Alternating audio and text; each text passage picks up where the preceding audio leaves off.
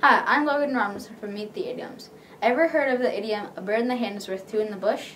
The meaning is, it's better to have something smaller or something that you already possess than something that you bigger and that you might get. In other words, don't be greedy.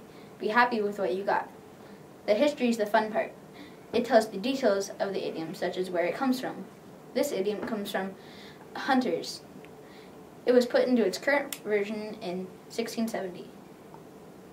It came from the English hunter when he went out hunting, he caught one bird, but then he saw two birds in a bush. He went with the bird that he had in hand because he was guaranteed to have it. There are, there are so many idioms in the world, it's hard to keep track of them all. This is Logan Robinson from Meet the Idioms.